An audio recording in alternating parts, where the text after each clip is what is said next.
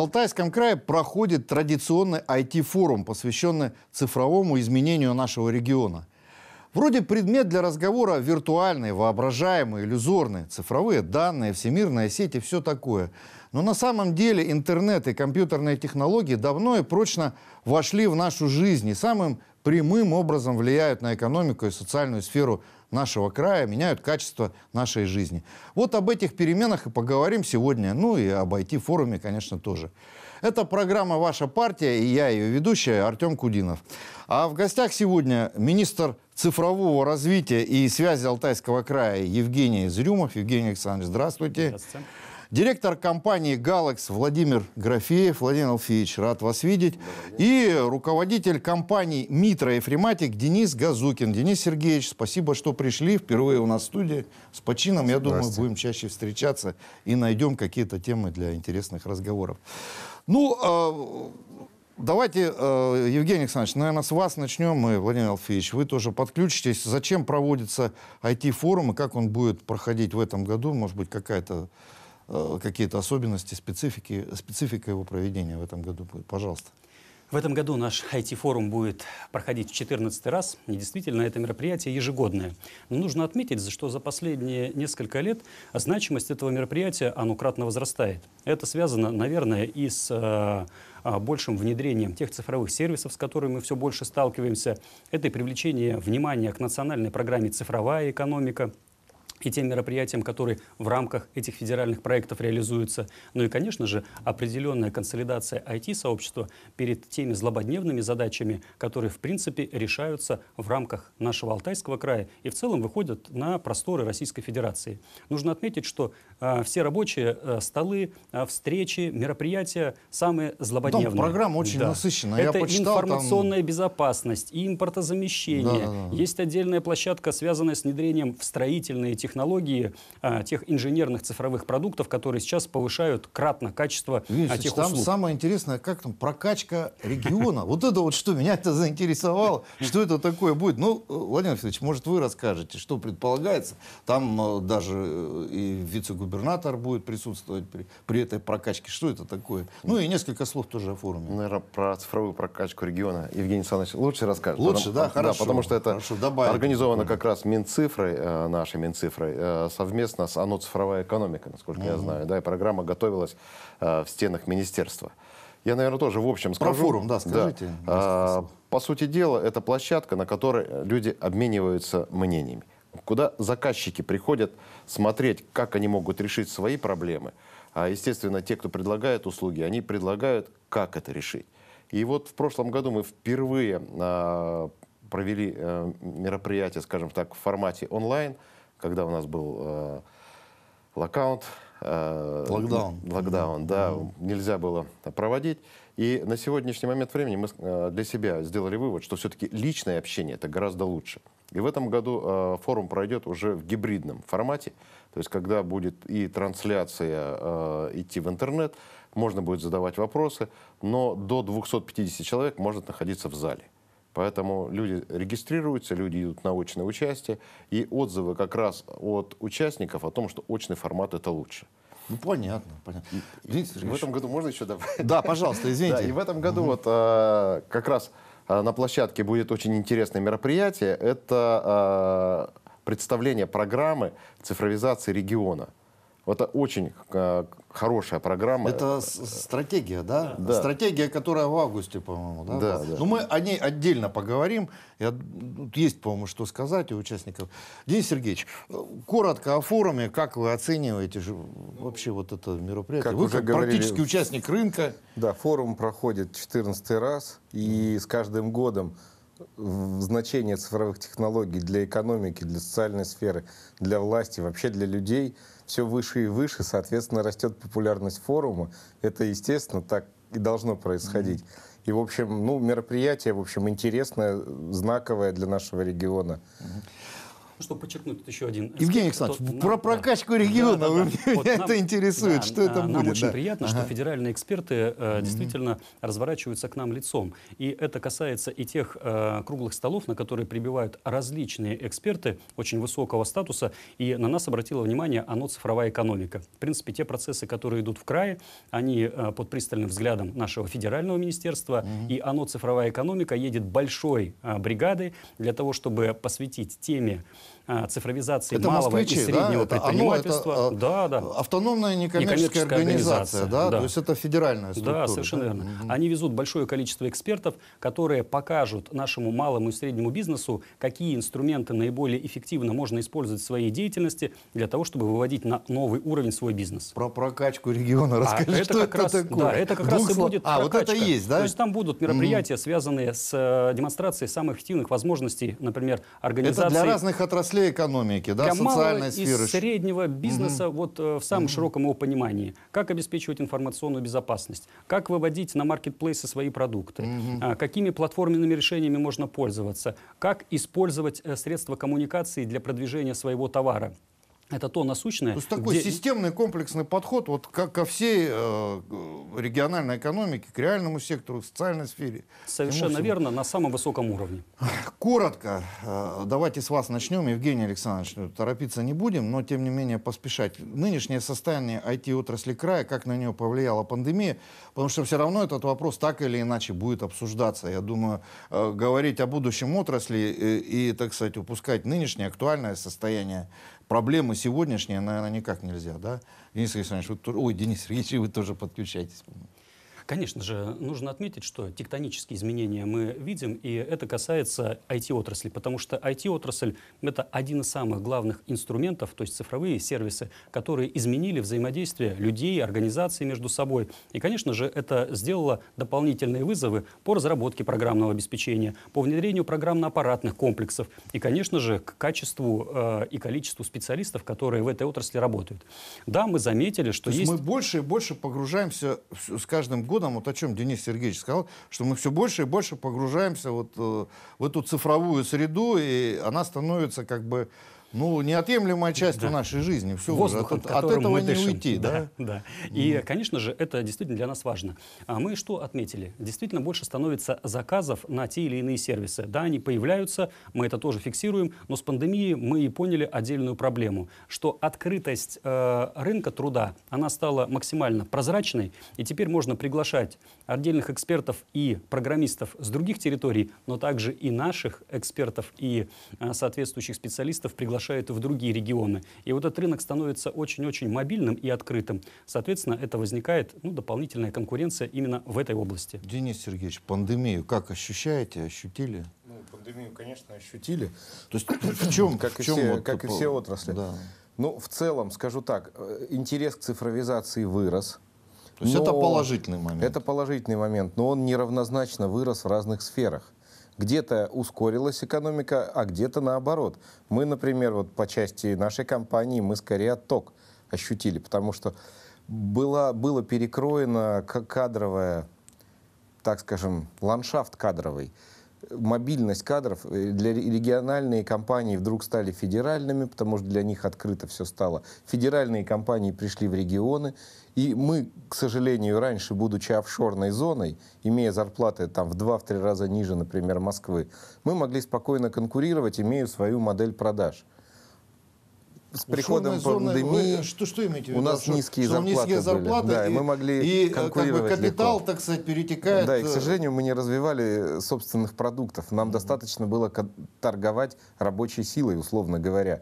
А сейчас зарплаты подтянулись где-то там на 20-30% отстают от Москвы. То есть у нас уже практически московские зарплаты конкурентны здесь. на рынке Да. труда уже. А в да? результате те, кто не создал продукты, например, такие, как мы, испытываем определенные трудности, потому что мы не можем поднимать э, сильно зарплаты, а у нас начинается отток кадров. Плюс э, каким-то образом выросла мобильность населения. Несколько IT-компаний целиком переехали в другие регионы. Наш Ну, алтайский, да, да? да, просто вот так вот собрались и переехали. И я знаю еще несколько компаний, которые уже встают на лыжи, чтобы всем составом собраться и уехать. Ладно, вы не пугайте прямо. Все Не, я не уедут. пугаю, С чем есть- мы будем стратегию реализовывать и с кем? Владимир Владимирович, движение да. идет, Ну, это встречное. нормально, Кто-то в принципе. Кто-то конечно, да, да, действительно, очень-очень много изменений. Постоянные перетоки, это значит рынок жив, что он, значит, э, проявляет как-то... Ры- Рынок жив, но мы как офшорная зона, мы пострадали. На- у нас не хватает собственных продуктов, у нас не хватает лидеров, которые бы создавали внутри продукты. Ну, давайте Мы- одного из лидеров несомненных, Владимир Алфеевич, фирма Galax. Ну, расскажите, как, как вот вы... Как мы прожили? Да, этот год? прожили, ну, еще не прожили, еще мы в этом состоянии как бы... Нет, ну мы уже в этом состоянии находимся года полтора. И, э, по сути дела, то, что обещали там э, в 2020 году, что наша отрасль фактически рухнет, э, ну, да, не сбылось это все, слава богу. Э, И на сегодняшний момент э, рынок за 2020 год, IT-рынок по ан- аналитическим данным, вырос на 14% в рублях. То есть э, компания Это Galaxy... в целом вы, э, общероссийские, да, Да, показатели? да, да, да. Компания Galax э, находится в этих же цифрах. То есть мы То так... есть на, на Алтае у нас тоже приблизительно рост отме- или или это, это средняя температура Это по больнице температура, 14%. мы в неё где-то попали. больше, где-то меньше. То Да. есть у нас тенденция тоже, мы выросли. Нет, ну, пусть не имеется, я говорю сейчас в данном случае про компанию Galaxy. Я А, думаю, вы, я да? думаю, Ну, да, понятно, про отрасль э, Евгений Александрович лучше расскажет. Да, да, да. А, ну, у нас на сегодняшний момент э, больше половины выручки это за пределами Алтайского края.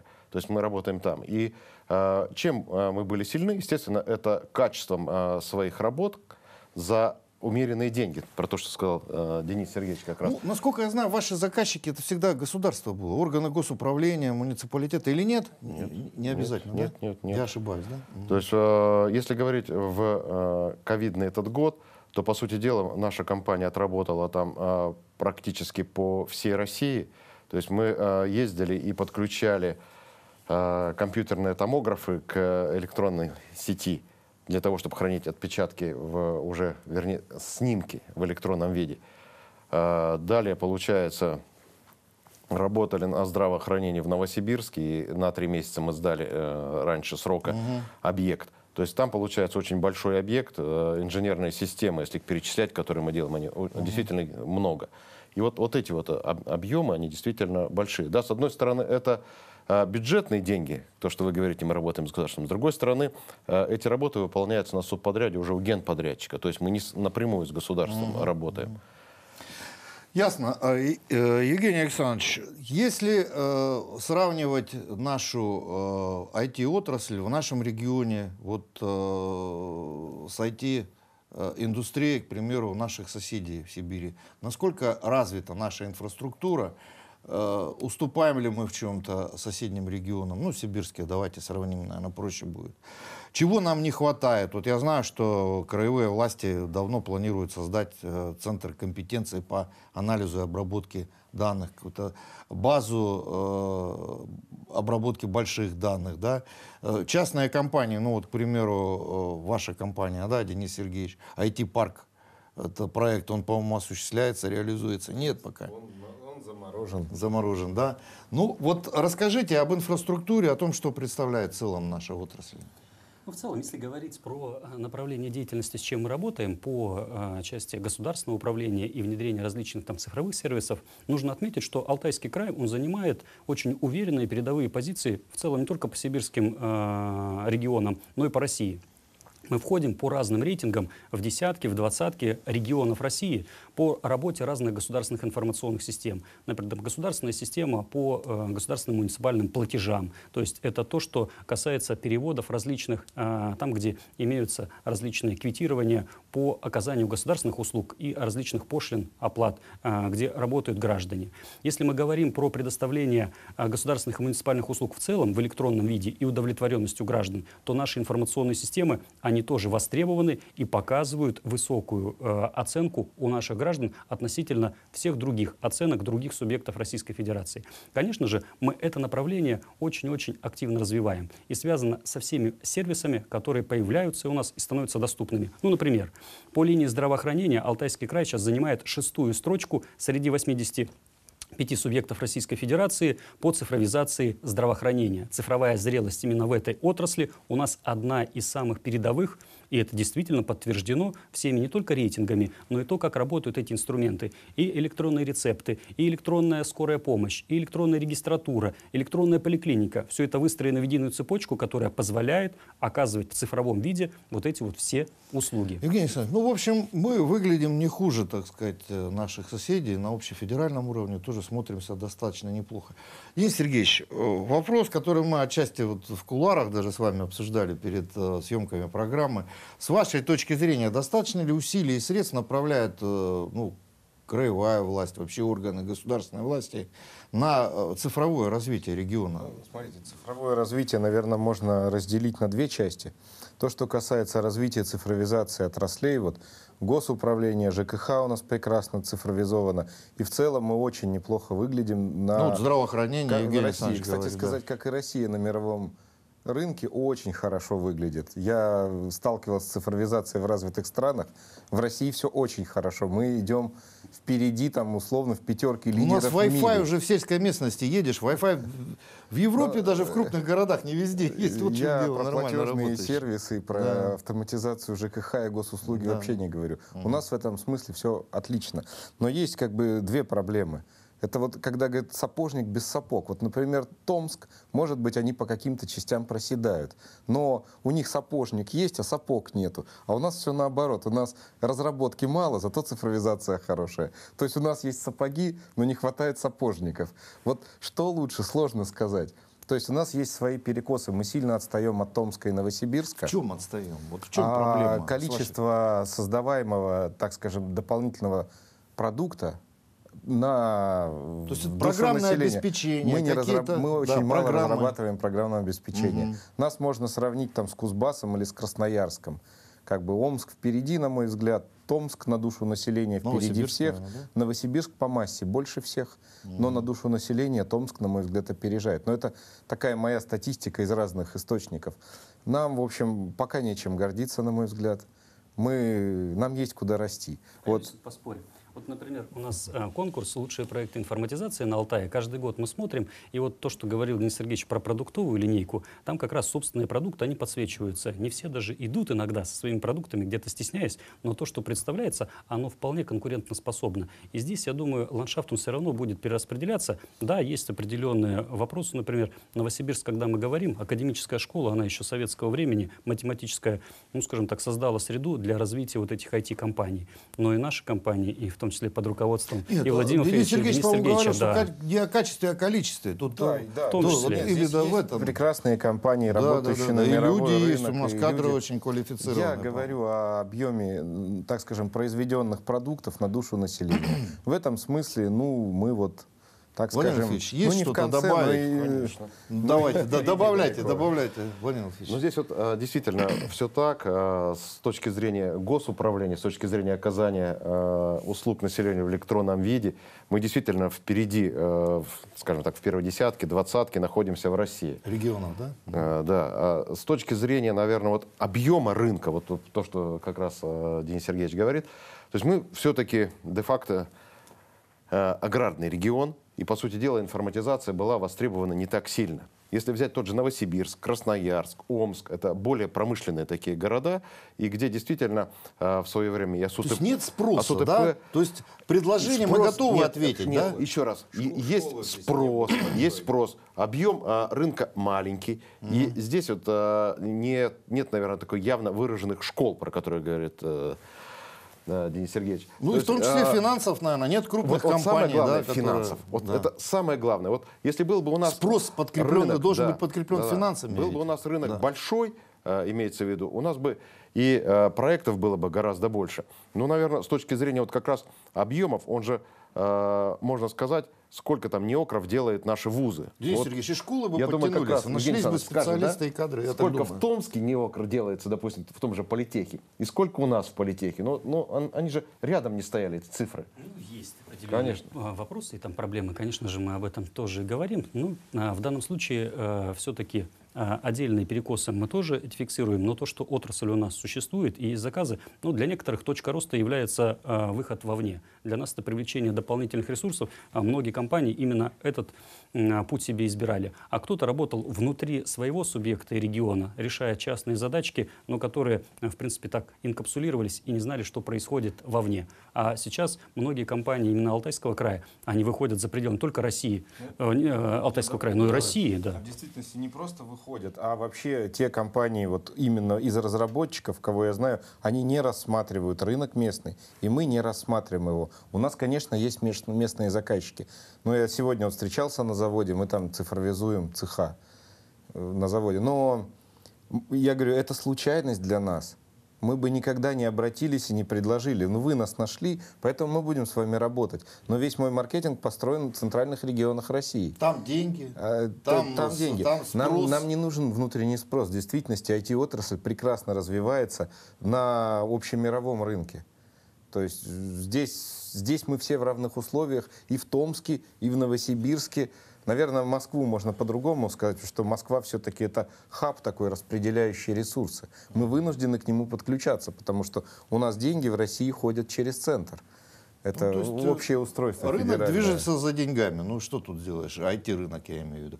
Игорь Александрович, ну, э, как бы то ни было, э, несмотря на, на все вот эти вот э, оценки, в том числе и оптимистические, пессимистические, рынок наш нужно развивать, и для этого и принята стратегия цифровой трансформации Алтайского края до 2024 года, да, по-моему, она? Да, на по ближайшие времени. три года. Да. Да. на ближайшие три года, которая в том числе ставит задачи и как-то стимулировать развитие и рынка, и в целом, так сказать, э, цифрового развития и экономики, социальной сферы регионов. Чем, в чем цель, так сказать, вот этой стратегии, каковы основные индикаторы, самые основные, вот, и каким, по вашему мнению, должен стать цифровой Алтай вот через три года? То есть, что...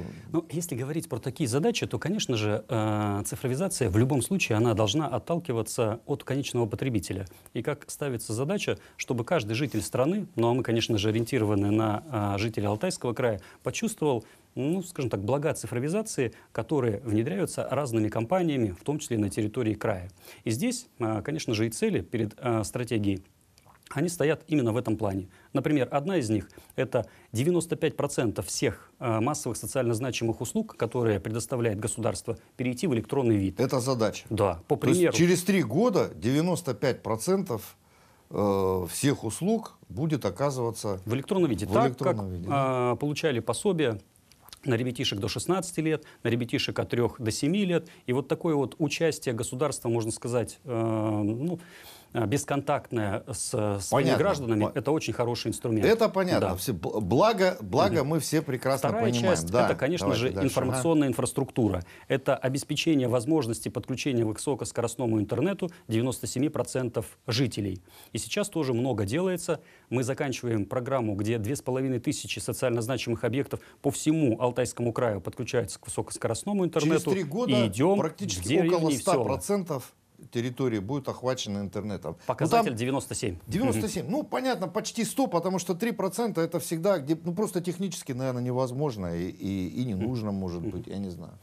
Еще один из показателей – это достижение цифровой зрелости различных отраслей. Это, как мы говорили, социальная защита, э, здравоохранение, образование. Здесь же включается ЖКХ, здесь же у нас Ну, о чем и Денис сельское Сергеевич хозяйство, где тоже востребованы различные инструменты. И здесь могут приложиться различные эти компании по тем задачам, которые сейчас и формируются непосредственно заказчиком.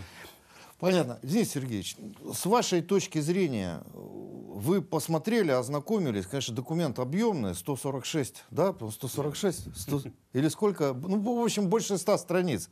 Э, Основные плюсы и минусы вот этой стратегии с вашей точки зрения, вы тоже в кулуарах как раз об этом говорили, коротко только. Во-первых, стратегия правильная, и она правильная вообще с точки зрения общегосударственного управления. Что по большому счету, что такое цифровизация?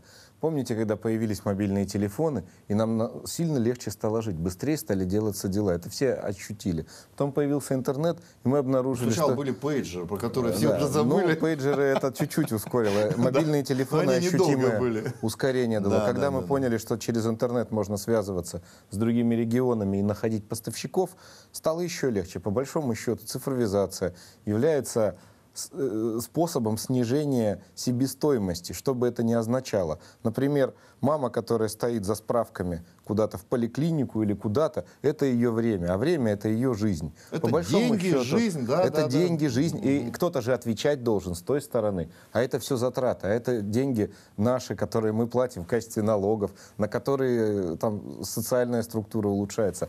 У нас выбора нету, на самом деле. И в этом смысле ну, вот это постановление и программа принятая. Ну, это несомненный Она плюс, это о- очевидно. отражает, Вот о чем да. Евгений Александрович сказал, ну, кто тут будет спорить? Это плюсы, Просто я, огромные я столько плюсы. сталкиваюсь с теми, кто вообще не понимает, что это. Всю Да? жизнь, наверное, борюсь с каким-то мракобесием. Люди не понимают вообще, куда это все идет. Мое мнение, что мы на старте цифровизации находимся. Сейчас не развито. Мы через 10 лет посмотрим сюда, как мы сейчас можем смотреть в нулевые, например. И нам казалось, ух ты, интернет, здорово. А мы сейчас Ну, смотрим... не развито, ну, Ничего э, Денис себе. Сергеевич, ты сам говорил, что мы выглядим даже на уровне Европы по, по некоторым направлениям Э, э, очень да. даже продвинутые. Мы очень есть- даже продвинуты, Ну, но через вот, 10-20 лет все будет еще интересней. Да. Мы имеем базовые средства связи, фактически, и у нас не достает софта. У, не- у нас не достает, так Софта- скажем, программное обеспечение. программного обеспечения, обучения людей. То есть вообще как бы самой культуры обращения с цифровым миром. Когда масса определенная накопится, мы просто... навыков жизни вообще в Ну, этой среде в например, цифровой, да? пандемия резко сместила акценты в область онлайн-покупок. Я сейчас э, строю себе дом, я большую часть материалов покупаю либо в интернет-магазинах, либо вообще никогда не видя тех людей, с кем я работаю. Я не езжу даже в шоурумы. Мы научились каким-то образом оценивать материалы и вещи, просто не сходя с места. Стратегия цифро- э, цифрового развития, я думаю, поможет как можно быстрее тебе дом построить. Я думаю, еще быстрее выстроишь. Владимир Владимирович, Я, закончу мысль немножко. Самое главное, что мы улучшаем качество жизни. Это государственная задача. Поэтому оно как катализатор всех экономик, все, всех вот сфер. И программа хорошая, она описывает, в общем-то, все сферы. Единственное, что вот я отметил, что сама сфера IT как сфера разработки или как сфера системной интеграции, она никак не освещена в этой программе. И означает, что исходя из этой программы мы являемся регионом-потребителем. По части качества жизни прекрасный документ. То есть По о- части о других отраслях в программе там есть, все а, есть. о самой отрасли а самой IT отрасли означает, мы всегда будем покупать где-то, и мы всегда будем тратить деньги. То есть Понятно. это Хорошо. экономически убыточная один- программа. Коротко, у нас уже Да, времени да. практически... Корот- да, короткий да, момент, связанный с чем? Что а, действительно стратегия, она направлена на человека. А на компании, которые работают в IT-сфере, это пакеты мер, которые разрабатываются на федеральном уровне поддержки IT-компаний. Первый пакет мы уже видели, это налоговые льготы и вычеты. Сейчас уже утвержден второй пакет мер, в том числе законодательные, которые раскрывают э, ну, и развязывают руки IT-компаниям, которые работают по отдельным направлениям. И у нас таких ступеней будет пять на федеральном уровне. Я думаю, Евгений Александрович, Денис Сергеевич, вот нисколько не противоречите друг другу. Конечно, и то конечно. абсолютно верно, и второе. Господа, думаю, что конференция э, IT-форум как раз будет полезен и в, в плане, так сказать, э, э, продвижения вот этой стратегии, о которой мы говорили, ну и вообще для развития, так сказать, экономики, и в том числе IT-отрасли нашего края. Все, спасибо. Время мы уже, так сказать, наше исчерпали. Напомню, сегодня мы поговорили о цифровых технологиях в нашем алтайском бизнесе, работающем в этой отрасли. Проблем много, но это и хорошо, значит, есть куда развиваться. На этом все. Берегите себя, не бойтесь нового и не будьте пешками в этой жизни.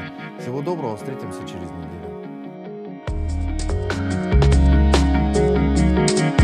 Música